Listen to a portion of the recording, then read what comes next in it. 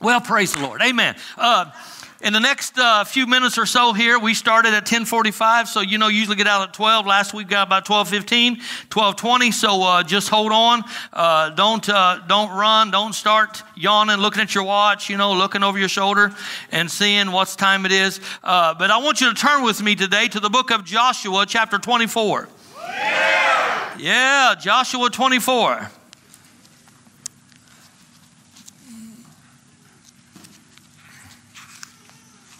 Joshua 24. Now, we're not going to read the, uh, the whole chapter uh, because there's a lot in there. I'm going to start at the 15th verse as I did in the first service. We're doing the same thing. Last week I preached the same message, but it sure came out two different ways. Same title, let's say. Last week was the same title, but two different messages. Uh, pretty much two different messages. Uh, t- today, my thought is, which I'm going to work on it for a few weeks probably, an established home brings God's blessing.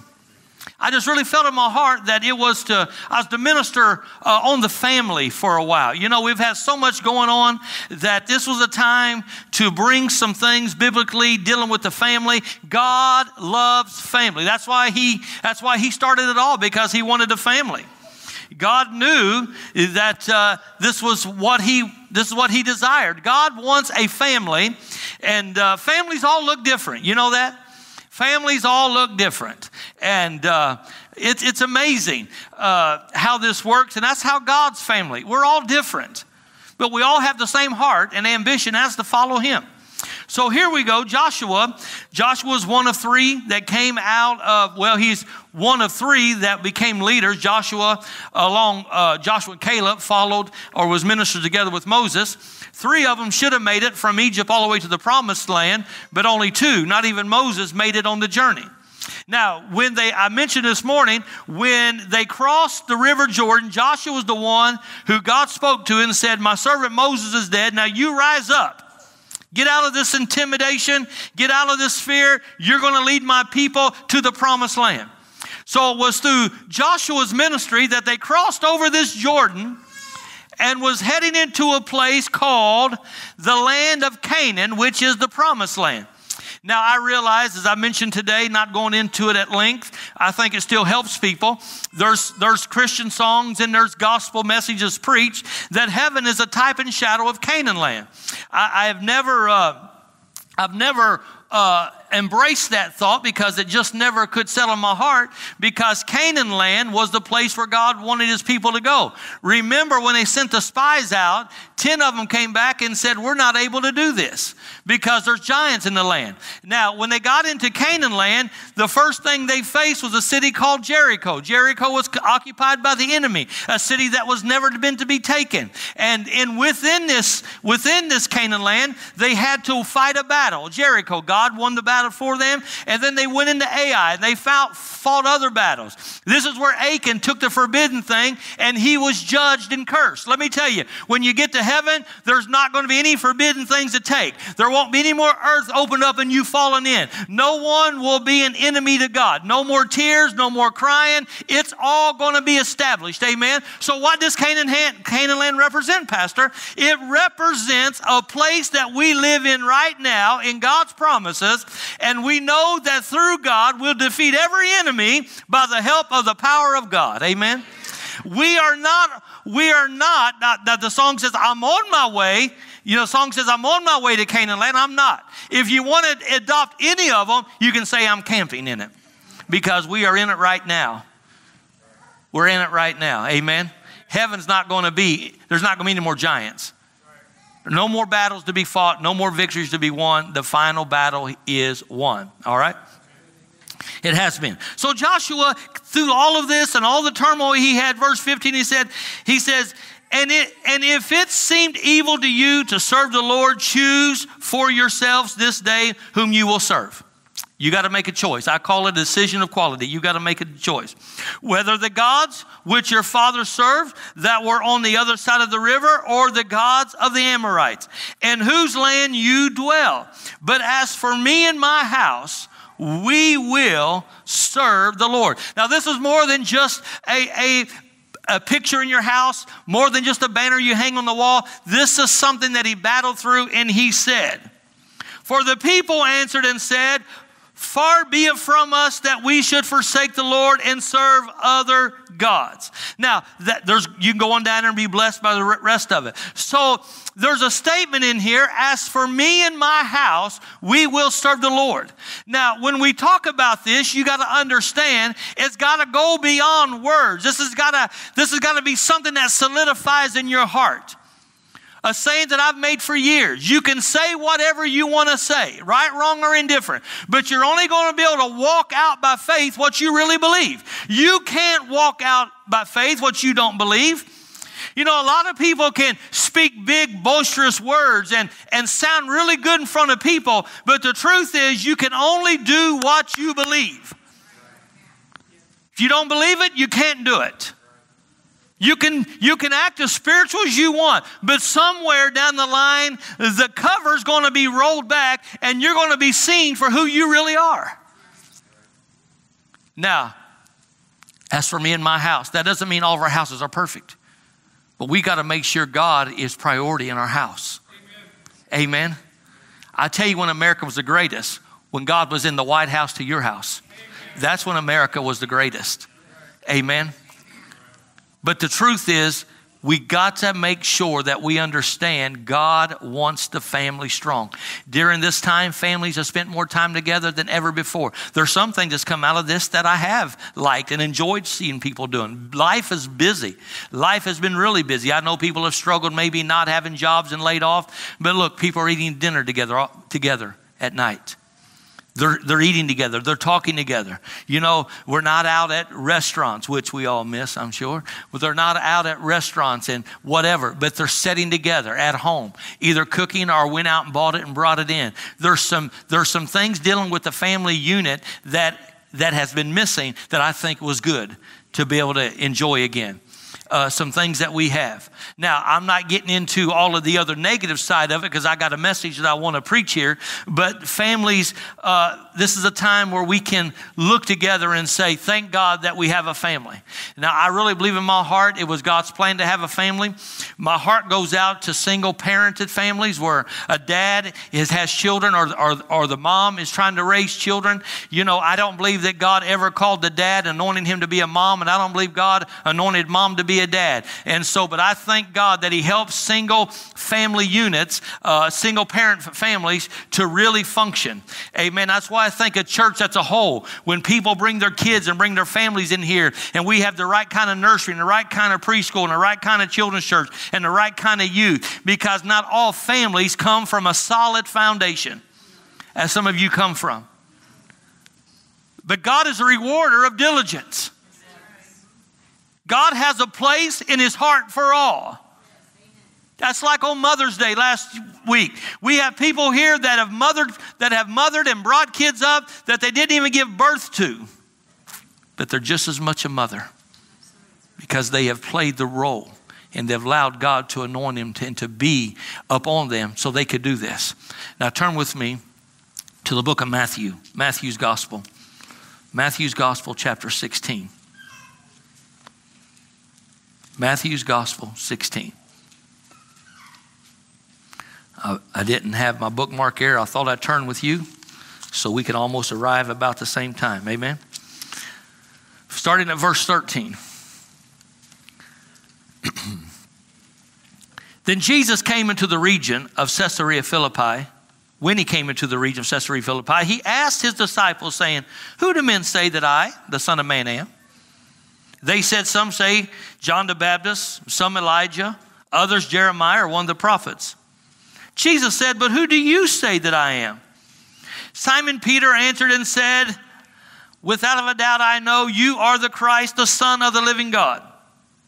Jesus answered and said to him, Blessed are you Simon, son of Jonah. Blessed are you. The word blessed means to empower, to prosper. And when, when, whenever Peter made this statement, Jesus said right off the bat, because of this understanding, because of this revelation that you just received, blessed are you. You are now empowered. Let me tell you, God wants to empower his people. God wants to empower families. God wants to God wants us to be empowered. The word bless is to empower to prosper. Not just money, but thank God it includes it. But he wants us to be empowered, prosper spirit, soul and body. I wish above all things that you that you prosper and be in health even as your soul prospers. So to the amount that you renew your mind, your soul to the word of God, it's going to be to the amount that you prosper in the things that you desire. So you have to do this. So Peter said, You are the Christ, the Son of the living God. Jesus said, Let's read here, flesh and blood did not reveal this to you, but my Father's in heaven. If he was just referring to the name of Jesus, Jesus is the rock. If he was just referring to Jesus, that wouldn't have been a secret because everybody knew him as Jesus. Or in the Hebrew tongue, uh, that, that language that, that, that, that they had, uh, Yeshua. Everybody knew him as that. But Peter brought something out that wasn't common. He brought out that you are the Christ. You are the Messiah. You are the anointed one. And when the anointed one comes, he's going to come to lift burdens and he's going to come to destroy yokes and he's going to reign supreme because he is the anointed one. Jesus said, You are now empowered. You are now empowered. Let's read on. I'm going to I'm using this to deal with the family. And he says, and Peter, and he said, You are Peter, and upon this rock I will build my church, and the gates of hell shall not prevail against it. Upon this rock. Now, what rock is he referring to? He wasn't referring to Peter as a rock. He was referring to this divine revelation about Jesus being the Christ, the, the, the head cornerstone, about being the Messiah. He said, This is the revelation that he brought. He said, based upon this revelation, this revelation is rock solid. You build upon this revelation, you will never fall to anything. Families have been scattered abroad. Families have waned and weaned around. But the truth is, we have got to get back to the revelation of God's word as families. Families are not perfect. My family isn't perfect. I've, I spoke about it this morning. I've spoke about it before. Amen. I'm a, today I'm pastor. When we get done and we go home, I'm daddy. I'm, I'm husband as well. Now, I want to live with the same principles and same values there as I do here. And that's what I endeavor. That's why I'm not backwards to apologize when I've said something wrong, repent when I've done something wrong. I never, I never use the excuse, well, I'm the boss, I'm the leader, I can do it. I'm quick to, re, I'm quick to forgive, I'm quick to repent, I'm, I'm quick to get things right. It doesn't matter who it is. It doesn't matter because I don't want anything to mess with that anointing or that gift that's inside of me. I, nothing. I don't want anything. So, with that, as strong as a family we may have, we're still a family. We still have teenage boy. We still have a girl that was still a teenager. She'll be 20 here soon. And then my oldest has kids of her own that she's learning from and, and probably says, Oh, I should have been better to daddy. No, I'm just kidding. uh, so, but the, but the point is, the, the point is that God is looking for his hand to be upon us as families. As families. All families operate different, but we got to have a common denominator, and that is Jesus must be Lord in our homes. You know, you don't have to preach a sermon every day to your kids, but you have to live the word. Your life is a message you preach. Your life becomes a message you preach. You know, I, you know, I, I, hear people say things, you know, about how when it comes to faith, you know, got to guard your mouth, got to guard your heart. I preach that, and I've had people, you know, people told me to my face, I think you push your words too far. Well, I got born again by my words. By my words, I'm condemned. By my words, I'm justified. I don't know how else that you can push it any further. Amen. Amen. Let the weak say, I am strong. He didn't say, let the weak think it. He said, let the weak say it. Psalms 91 is very important. He that dwelleth, it says that uh, he that uh, uh, dwelleth in the secret place of the Most High shall abide under the shadow of the Almighty. The very next thing the psalmist said, I will say of the Lord, He is my refuge. He is my fortress. He is my God. In Him will I trust. He didn't say, I think it. He said, I will. I dwell in the secret place of the Most High. I abide under the shadow of the Almighty. And the very next thing, under an old covenant, covenant lifestyle, He said, I will use my words to create my reality. He is my refuge. He is my fortress. He is my God, and in Him will I trust.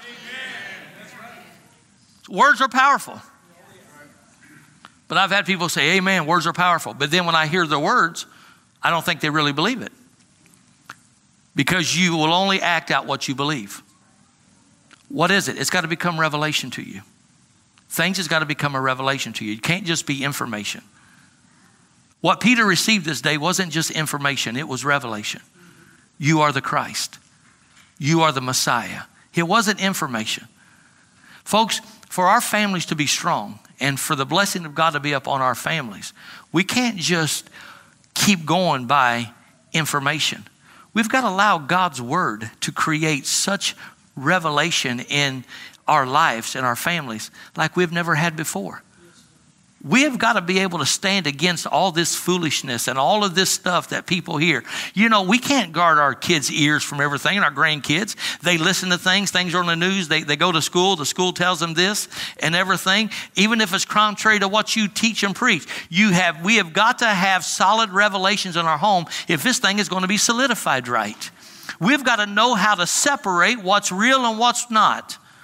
What's life from death. You, you, got, you got to be able to separate life and death. And the words that are spoken, you got to be able to divide this. Amen? Amen? Because what you believe, what you believe is going to affect your life. Words are powerful. Even secular psychologists. Don't speak harsh to children, you'll warp them. Why you mean you warp them? Words. But then they hear me preach like this, they'll say, He's crazy. Well, you just said don't, don't tell a kid he's worthless. You can't do anything because you'll form an image inside of him that he is. Well, God figured that out a long time ago. That He told you exactly who you were. Why? So He can form an image inside of you. And He told us exactly what a family was like so He could form an image inside of us, what we need to do as families. Amen. Now, I could come in here as before and, and preach, a, you know, preach a good message on how to stay out of fear again and, and how to stay bold. But the truth is, I want us to take this opportunities. And when we come out of this, we don't just come out of it having church, we come out of it victorious in our homes. Because it's the strong family unit that makes a strong church. You are the church. And upon this rock, I will build my church. Now, tell me, any Christian home is not part of the church. So that means even though you're a family, you're still the church. So if he says, Upon this rock I'll build my church, then he's going to build you as a family. He's going to build you as a family at the same time. I'm, I'm thankful that we can have things as, as family. Uh, I gave the example this morning. I've only one time, only one time in the 14 years pastoring here, have I ever spent time pre-marital counseling with people. I've done a lot. I think the first year I was here, I married, did a wedding for like eight or nine people in one year. That's a lot of counseling. And uh, there's one couple, I didn't actually do the wedding, but I did all of the premarital counseling because they had somebody else do the wedding, but they were not pastoring a church. So they asked me as their pastor if I would do the counseling. So I did. That's when my office was back there where the men's restroom is now. And I spent more time with them than I did any other couple from that time to now in premarital counseling. It's the only couple that I ever said, if I were you, I would not get married. I would not do this. If I were you, I would not do this. Oh, we're in love. We're in love. We're in love. I'm thinking, uh huh. And you're in a whole lot of other mess too. We're in love. So they had about three months of bliss. I mean, three weeks. I said this morning, three weeks. They had three weeks of bliss. After that, it was, it was five, it was five months of hell. And the sixth month, they were separated and divorced. Didn't even make it a year. Didn't even make it a year. You could say you should have listened. But nobody I've ever married or did counsel that didn't think, oh, we're going to have the best marriage in the world. I tell them, when you come and see me, we're going to talk about marriage. We're not talking about a wedding. For one year, you plan a wedding, plan a wedding, plan a wedding, plan a wedding. Nobody thinks about a marriage. There's two different elements. People struggle because they spend all that money preparing for a wedding. And then when the wedding's over, they're in something called a marriage. dirty underwear, dirty socks, bad breath. I mean, uh, this thing is marriage, man. This thing is marriage. It happens. And then.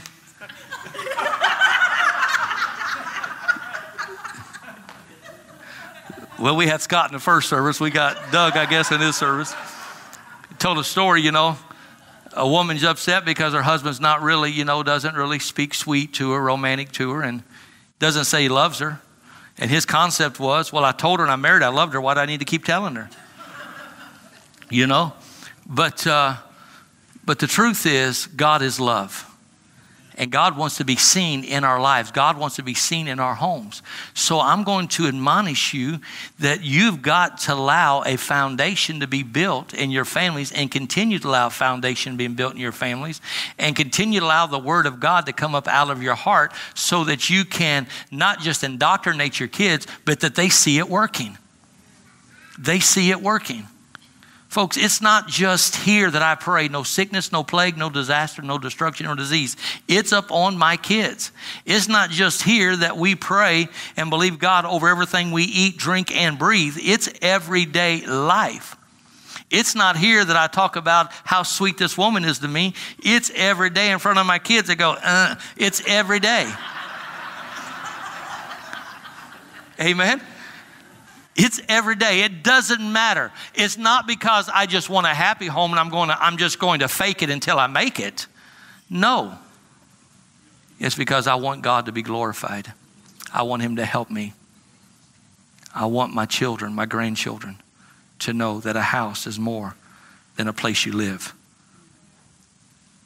We're only we're part of a church. We're not just part of a individual family unit. Brittany may be married with two children, but she's still part of the church. And upon this rock, I'll build my church. She, this, thing, this thing isn't divided. What I do in my house is my business. What I do at church is my business. No, no, no, no. No, no, no, no, no, no, no, no, no, no. I understand people think that way. But the truth is, what happens in your home affects the church. It affects it here. It affects it here it affects it here. Do you think if Angel and I had a big argument this morning, it wouldn't affect me in this pulpit? Come on. Do you think if Josh and I had a big argument, it wouldn't affect him on them drums? Could you imagine his face up there?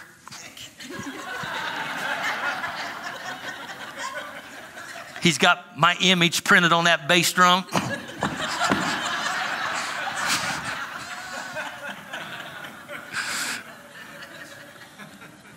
Come on.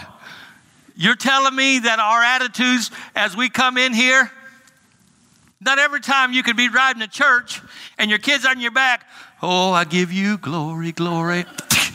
I give you glory. No, it doesn't work like that. This thing affects our life. And God wants to bless our homes. He wants to bless our families. He wants to empower us. He wants the word of knowledge. He wants understanding and wisdom to fill our individual lives outside of this house. I want to be anointed as a dad. I want her to be anointed as a mother. And like I said, you that play both roles, my God, as a church, we got to stand and we got to pray and we, we, we have to help out because the devil is looking for any kind of weak area. He's not just looking for an open door anymore, he's just looking for an open opportunity. You don't even have to realize the door's open. He just wants to find an opportunity, as Justin did, to pull one more block out of your marriage, out of your life. One more block. Married, husband and wife, listen. If your marriage is not strong, I'd start working on it right now because the day is getting darker. The day's getting darker. And I'd start, I'd start getting on it. Men, I'd start, I'd start telling her right now how good she looks, how wonderful she is, what kind of mother she is. What she used to when she's in her 20s. You better fix your doctrine. you better fix your doctrine right now. Yeah, but he had big chest muscles back then. Have you seen him now? You better, woman, you better fix your doctrine.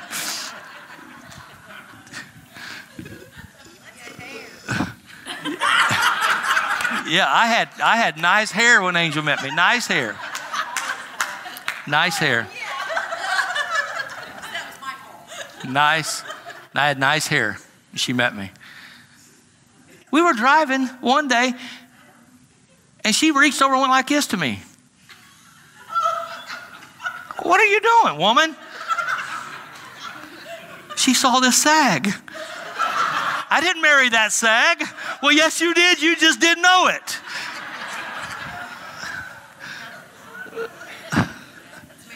That's marriage. That's not wedding stuff. That's marriage. And God wants to build that marriage stronger than ever before. And we've had people, we got people here married a lot of years. But as good as it is, it can get better. God wants our homes to reflect who He is. And He wants, and He wants our homes to play a part of the church. Amen. And the church will play a part of the home because they're interchangeable. Amen. You are the church. It's not this building. You are the church. Hallelujah. Now, I don't say I'm married to Sister Angel. Sister Angel, will you come here? No. So there is a little difference. but the truth is, we're part of the church. Don't miss my point. Enjoy my humor. Don't miss my point. But we got to do this together. We got to do it right. Amen. God wants our households blessed. Now, I read some more verses I didn't get to in this one because you guys were are too uh, energetic. I had more time to preach in the first one. No. Amen. I'm telling you, anything, whatever you invest into a strong family, it's going to pay off. I promise you, that'd be one return you're going to enjoy. Uh, Pastor, I, have been divorced. I've been, I've, I've went through all of this. I went through all that. Can God really do supernatural things back through me again? Let me tell you, God is a redeemer. God is a redeemer. I've had people tell me that you'll never be successful in ministry, you'll never do this, you'll never do that. I look back and I looked at some of them where they're at and where I'm at. I say, thank God he's a redeemer. So, regardless of what you go through, He's still going to bring you out. Amen. He's still going to bring you out. So if you've been, if you're newly married or oldly married, just don't be crotchety married. Amen. All right, let's stand together. Hallelujah. Where'd that come from? Dear God. Did we just preach not long ago about grumpy old men?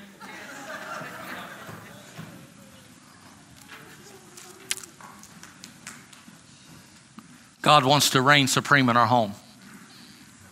He wants to reign supreme in our home. We, and I mean, this is something we don't get by. You don't get by with. Number one, no one in our household goes to bed angry at one another. Uh, you can, but we're going to make sure it's worked out. And there's going to be hugs and kisses for it all before we go drops of directions. You will camp out in the middle of our bed, not you. You work your own salvation out. but Josh and Maddie will camp out in the middle of our bed until we work through these things. Brittany was the same way when she was there. It doesn't matter. We don't go to bed angry. We don't leave the house mad. There's people I've dealt with has never got over because a loved one lost their life in a wreck because they left the house mad. We won't do that. And we don't leave church mad. We don't leave church in strife. We don't leave church disunified. We are going to be a family. This church is a family. Our household's a family. Under God's banner, it's love, and we're not going to give place to the devil at all. How's that? Amen.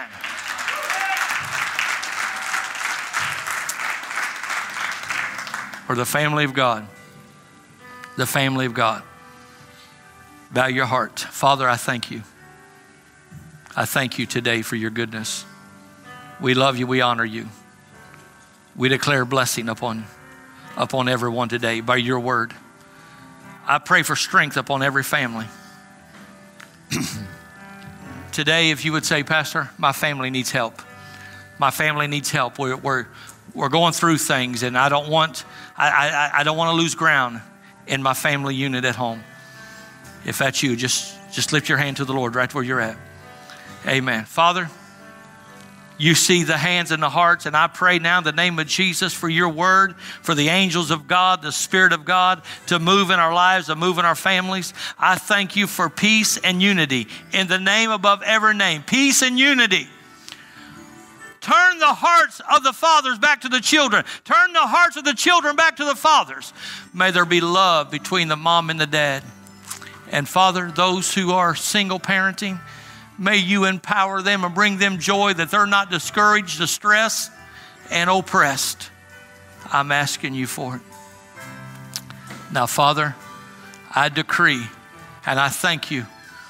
You said, speaking of angels, are they not all ministering spirits sent forth to minister for them who are heirs of salvation? I thank you that they will bear us up lest we dash our foot against a stone. And therefore we say together, angels, take charge. And I decree that no sickness, no plague, no disaster, no destruction or disease shall come near you. In the name of Jesus. Amen.